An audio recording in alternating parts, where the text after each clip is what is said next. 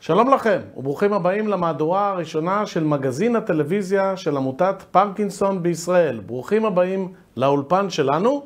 במהדורה החודשית הזו נביא לכם מדי חודש עדכונים, דיווחים, רעיונות וחדשות בכל מה שקשור לפעילות העמותה ולחבריה. ונפתח בסמינר החורף של העמותה, שנערך במלון הרברט סמואל בים המלח. בסמינר השתתפו 100 משפחות והוא נערך במשך חמישה ימים. במהלכם חוו המתמודדים ובני המשפחות סדנאות, הרצאות, פעילויות קבוצתיות, אימוני ספורט ומסיבות.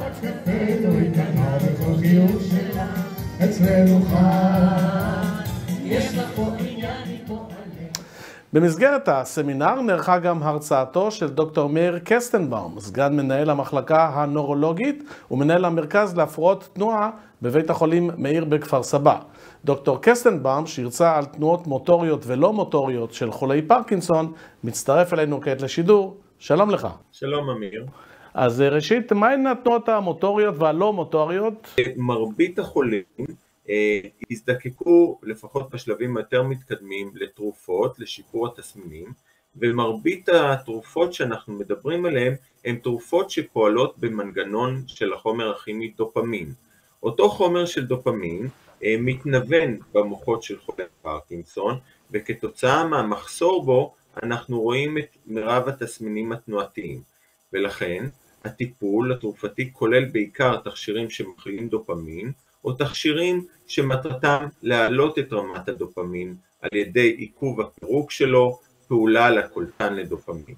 אנחנו רואים כשחולים אה, בשנים הראשונות לטיפול התרופתי נוטים מאוד להשתפר בתסמינים שלהם, אולם עם הזמן מתרחש תהליך שבו יש תנודות או פלוקטואציות גם במצב התנועתי של המטופל וגם בתסמינים הלא תנועתיים. למה הכוונה כאן בתנודות או פלוקטואציות? הכוונה לסימפטומים שמשתנים אה, לאורך שעות היממה בהתאם אה, לרמת הדופמין בעיקר בדם ובמוח, כאשר ברמה התנועתית חולה שמאוזן טוב בזמן השפעת הכדור נחשב במצב און ואז התסמינים שלו, גם הרעד, גם האיטיות וגם הנוקשות יחסית בשליטה. אבל אחר מספר שעות מקבלת התרופה יכול להתפתח מצב שבו התרופה מתפוגגת בגלל ירידת רמת הדופמין במוח ואז אנחנו רואים שוב חזרה של אותו רעד, איטיות, נוקשות וקושי yeah. בהליכה. אז למה כדאי לשים לב בהקשר הזה של התנועות?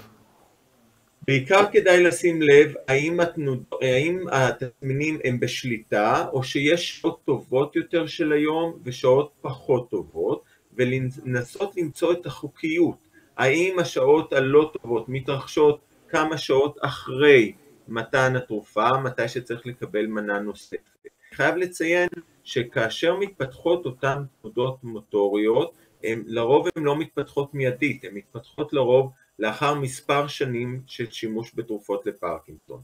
סביב אותה תקופה של אותן תנודות במצב התנועתי, יכולות גם להתפתח תנודות בתסמינים הלא תנועתיים. וכאן אנחנו מדברים על תסמינים שיכולים להיות קשורים לכאבים, כאבים שמתפתחים בסוף המנה, כאשר הכאבים יכולים להיות אה, כאבים שורפים, כאבים של שריר מכווץ, יכולים להיות תסמינים של אה, חרדה ואי שקט במצב רוח או ירוד או דווקא מרומם, אה, והתסמינים האלה נוטים להופיע בזמן העוף, כלומר מתי שיש את המצב הלא טוב התנועתי, באותו זמן לרוב יכולים להיות גם את התסמינים הלא תנועתיים. Okay. כן. עוד סימפטומים שיכולים להיות של מערכת הלא תנועתית, יכולים להיות סימפטומים של המערכת האוטונומית, המערכת העצבית שהייתה עליה, האוטומטית, ואז יהיה הזעה בזמן עוף, או הסמקה, או תחושת קור, או צרבת. אה, כל התסמינים האלה יכולים מאוד להפריע לאיכות חיי המטופל. כאשר הגישה הטיפולית, מתי שיש כבר תסמינים כאלה של תנודות, היא לנסות לצמצם את אותם זמני עוף, אותם זמנים שהמטופל מרגיש לא טוב, וזה מתבצע במספר צורות. צורה אחת המקובלת היא על ידי עליית תדירות מנות התרופה. במקום שיקחו את התרופה במשך שלוש או ארבע פעמים ביום, מצמצמים את הזמן בין כל מנה ועוברים לפעמים לחמש שעות ביום. לפעמים דרך אחרת להתמודד היא על ידי עליית מינון הדופמין בכל מנה שניתנת, ובאמצעות תרופות שמונעות את העיכוב של הדופמין ועל ידי כך מאריכים את משך הפעילות שלו. כן. אז המסר שלך למתמודדים הוא, קודם כל שתהיה מודעות לנושא, להבין למה זה בא, ובמידת הצורך גם לפנות לרופא כדי לשנות את הטיפול התרופתי. נכון, ובעיקר לנסות לשים לב מתי מופיעים התסמינים, האם הם קבועים או התקפיים, ואם הם התקפיים, באיזה שעה של היום הם מופיעים, מה מחמיר אותם, מה משפר, כמובן מודעות, פנייה לרופא, ומהצד הרפואי צריכים לדעת שצריכה להיות גם אה, שאלה, לשאול את המטופל בצורה מכוונת לנוכחות אותם תסמינים והתנודות בהם, ולנסות להתאים טיפול תרופתי אישי. זה לא uh, one patient, one uh, treatment, כלומר, כן. לא טיפול אחד uh, אותו דבר mm-hmm. לכולם, אלא כל מטופל הוא אינדיבידואל עם תסמינים משלו, המחלה מאוד מגוונת, ולכן גם התאמת הטיפול צריכה להיות אישית. דוקטור קסטלבאום, תודה רבה לך שהצטרפת לשידור.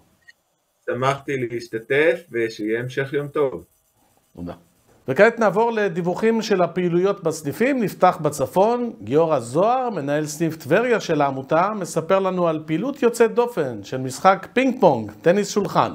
יזמנו אה, את אה, פעילות מחוץ לסניף במועדון הטניס של אה, הפועל גליל תחתון, בבית הספר כדורי, והמטרה הייתה להוציא את האנשים מהשגרה שלנו ולהכיר להם את נושא טניס השולחן במטרה שייהנו ושיצטרפו לפעילות שמאוד תורמת אה, לחולי פרקינסון בהיבט של, אה, של הנאה, של יציבות, של פעילות גופנית אה, מעוררת ושל חברותה.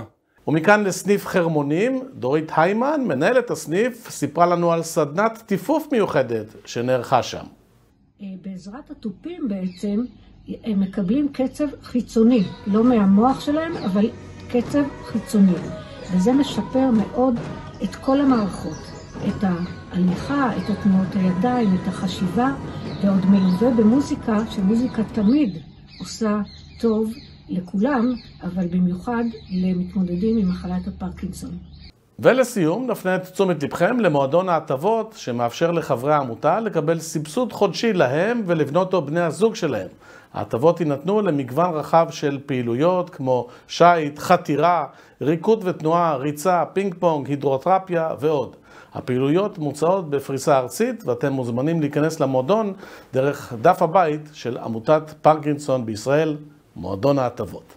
עד כאן המהדורה שלנו להיום, ניפגש שוב בחודש הבא. להתראות.